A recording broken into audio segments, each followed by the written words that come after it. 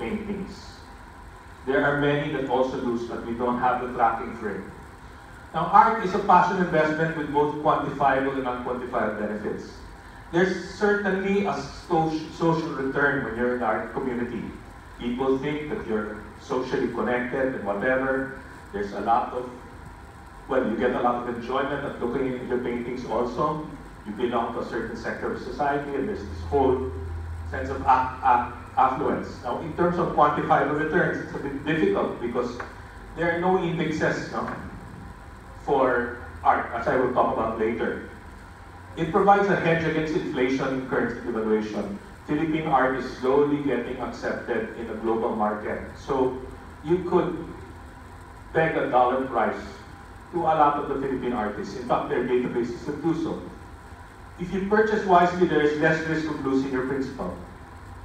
Well, if you purchase by price, if you wisely, if you buy it at a decorative price, then chances are it will not go below your acquisition price. But if you buy at a high, then you can also lose some of it. No minimum investment is required. We have an affordable art fair that comes up every February, March in Salcedo Park, where the cap is at 40,000 pesos. So unlike all the other investments, you can buy something for 10,000 pesos. Um, there was a painting that a friend bought for 40,000 pesos 10 years ago and he sold it recently for 12 million. But that's one of the more successful ones. There are a lot of no success stories also. Art investments, enjoyable, favor, favorable tax treatments. Um, for estate planning, for example, there's no zonal value okay, for art. So the BIR will agree to an appraisal from the National Museum, which is usually low, so it's easy to pass. I'm a lawyer. A lot of us lawyers, we have the philosophy that if we don't go out we're not going to make money. There's no recurring income. So we have to have passive investment. Some of us believe that art in our offices can be treated as furniture. Since it's treated as furniture, we can depreciate it over three years. That's some of us. There's less risk because of a low correlation with other financial assets. Um, this is something that's not that established, but as compared to the stock market, it doesn't move at the same time. Although I must say that art is something with is based on excess liquidity also. So general economic factors come in, but the sector that invests in the most high-end art is usually free from any economic downfall. Less risk because of low, yeah, I just mentioned that. Art can be insured. Unlike other financial assets, you can actually insure art uh, one of the top insurance companies for that would be Malayan, related to this company, because they've hooked up with the number one art insurer in the world, that's Willis. They insure machines and whatnot, in liquid. I have over 200 paintings. Um, one of my best friends owns the biggest auction house. That being said, I only have three paintings for sale in this next auction. So it's not something that you can dispose at once. Sotheby's and Christie's visit me in the other days. Now that's on the auction level. It's even harder at the private sale. There are very few people who buy art at a private sale, and it's really a case of balatan. It's almost embarrassing to go into a private sale context. So the secondary market for art is quite difficult. You know? Lack of cash flows until you actually sell the art, unless unless some companies pay to exhibit your art or whatnot, you will not have any cash flows, positive cash flows. In fact, there are negative cash flows because, as I will talk about later, there are expenses that are related. Prevalence of insider trading. Art is highly unregulated.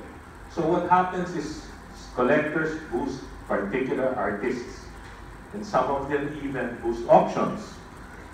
That being said, the prices can be in a way swayed also because there are tastemakers who will push prices one way or another. There's a lack of index of all sales. This is something that Sotheby's and Christie's is, is spending so much money on, on new algorithms and whatever. But the reality is the current indexes in place are all based on auction endings because there's no data on private sales. And so there's no way to track I mean, we have all the databases, even Filipino artists are in the international databases, but there's no, it's not like a PSEI where you can actually track historical performance or not. It's highly um, non-transparent. The hidden expenses of maintaining an art portfolio. Most of my friends don't have walls anymore. And we're investing all in storage. I pay about, for an air-conditioned storage space, about 23,000 pesos a month. And that only fits maybe a third of my collection. So there are all sorts of issues. And then there's the question of insurance. Are you going to insure also? Um, insurance policies for art have so many conditions where they will not pay you. You have to control the humidity, things like that, and whatever. So it's, quite difficult. Filipinos don't like paying money for portraits. So the Mona Lisa is actually a portrait, but because of the historical value, they don't look it. There's a bias against paper. Is it valid? Probably, because of our humidity issues, paper, watercolors and whatnot, get a lower value more strictly in the Philippines because it's so hard to conserve. I have a wall in my house of Fernando Zobel's which I only bought for 200,000 pesos. An oil painting for, for Fernando Zobel's, that same house would be like, that same size would be like 12 million. Authenticity. There have been a lot of fakes lately. It's all chronicled in media and you can see it. And, um, it's, they're getting better and better. So it's getting much more difficult contemporary versus masters. Um, as you can see, there's a trend of people buying contemporary art. But the problem is we don't know what's going to happen to the guy. He could become a drug addict, he could stop working or whatever. I recently bought a painting from a guy who had stopped painting for 50 years. He was the mentor of all of these other guys. He worked for the Luz Gallery, Rodolfo Gan. But he had to stop working as an artist because he had to support his family. So when he was still a contemporary artist, he was really sought after. Was the mentor of all these other guys. And he had a comeback show last year.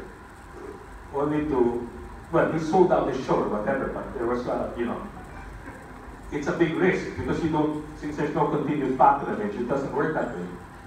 Lack of materials for provenance. We really lack art critics and whatnot. To me, the best provenance now are the auction catalogs and the titles and whatnot. And we're lacking all our, ex our experts are slowly dying. Who can show where the art pieces came from. And since there's a problem with authenticity, then all the more we need provenance. I would rather buy something that came from one of my friends who I know is a real thing than buy someone something from the internet I don't, don't know where it came from. The National Cultural Heritage Act. This is a well-meaning law which put a cap on all cultural heritage. The problem with it is it gave a right of first refusal to the National Museum. So it set a natural cap for anything that is considered of cultural heritage. So 19th century pieces. Early on my career, I had Lunas and Ivanos. There's a limit to that and how much you can sell it for. Because the perception is you can't get it out of the country. And foreigners can't participate. Um, I was the underbidder for this painting. It's called España Guiando Filipinas uh, to the Future. It was the highest Luna ever. I, I was underbidder in Spain to buy it. I lost by 10,000 euro. It eventually went to the National Gallery of Singapore, where they were able to buy it because there were no restrictions because it wasn't in the Philippines. So it went for $2.5 million to the National Gallery of Singapore eventually. But no other Luna has gotten that price. Lack of quality appraisers. There's a bit of conflict of interest because a lot of the appraisers here charge a percentage. So there's a natural problem and the problem with appraisers is it's highly subject subjective because there are okay Amorsolos and there are really good Amorsolos. I'm not going to say this, uh, pay the same price. As I mentioned, I buy paintings abroad.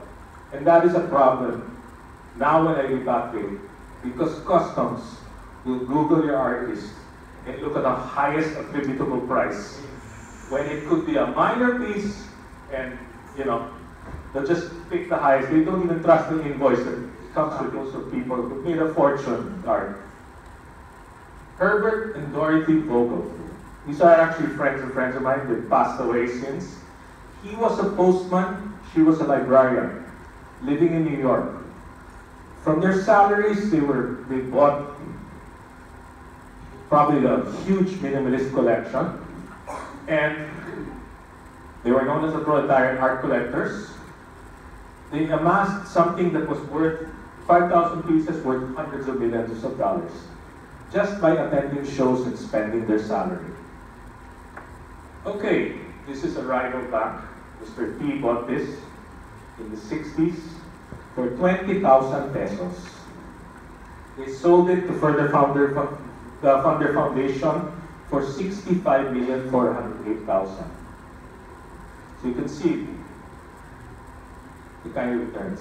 My good friend, Lito Camacho, our former Secretary of Finance and formerly of Credit Suisse, and his wife, Kim. We were talking earlier about destiny.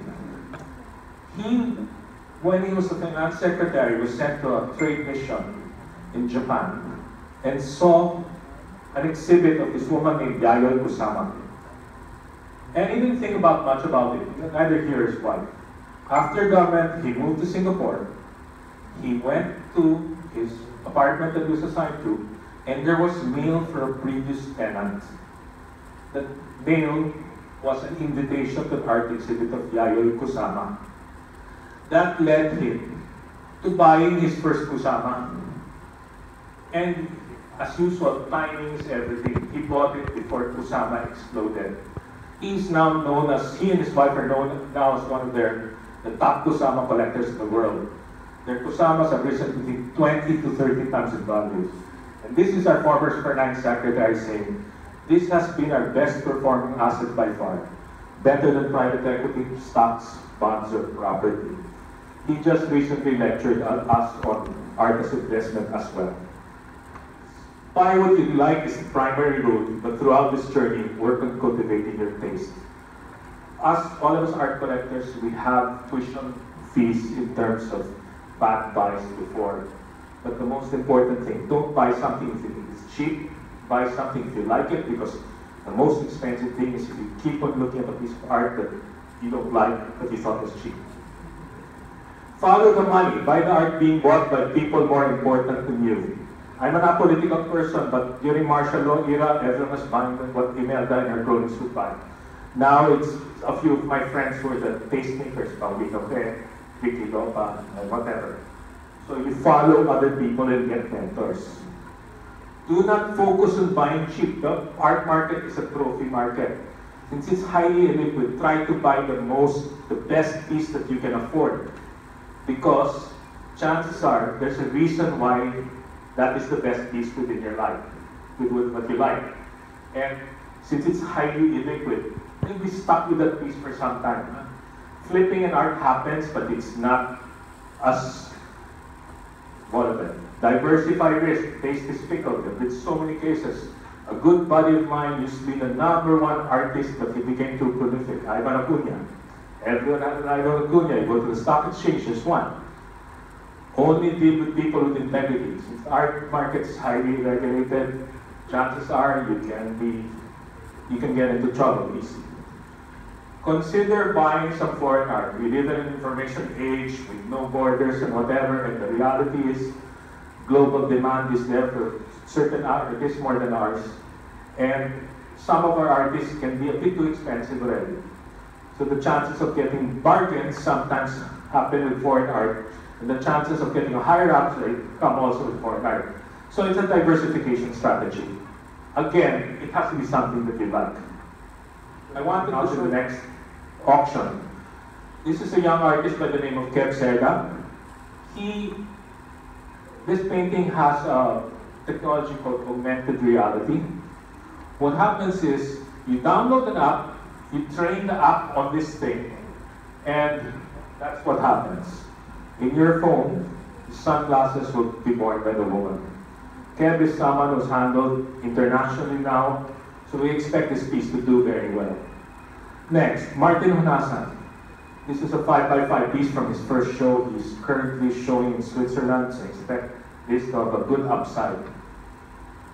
FB Concepcion is an artist who's passed away, but he's recently come into vogue with all of us. He's an abstractionist, and his prices are not yet bastos. The starting of this is around 800,000, and uh, a good friend of mine is one of the top collectors. I expect this to, to be a good investment. Okay, I'm going to show you here some Fernando Amorsolos from the Tabacalera Incorporada in Spain. There are good Amorsolos and there are bad Amorsolos, and these ones are the best because Amorsolo had a long career that lasted all the way to the 60s, and after a while he had a factory and everything. So you really have to look at provenance and when you bought it. And this is the Tabacalera, Tabacalera in Spain, which was converted to a boutique hotel recently. So these pieces came from, from the Tabacalera. I don't know if you're familiar with Fernando Zobel. He was the founder of the Ateneo Art Gallery, uh, grand uncle of the Fernando Zobel now, in the Plaza. And this is a very unique piece because this came from one his, his best friend when he was working in Harvard. This is his very first painting. It's a study of another painting. But it comes with a letter showing that that is his first painting, which is a extreme rarity when you go to figurative Zobels. No? In contrast, this is the last Botong. This used to be on loan to the Yuchengco Museum for about 10 years. So it's actually unfinished. This happened during the time that uh, Botong was dying. There are four kamote vendors known in existence, this being the last one. And for whatever reason, it all ended up with important cabinet members of, of the Mar during the Marcos era. And this one is the biggest of them all. We sold a small version of this, about this big, for 23 million before. So I don't, this is starting with 16 million, so hopefully it will do well. Okay, we have an auction coming up this Saturday. Thank you very much. I'll be here for the open forum.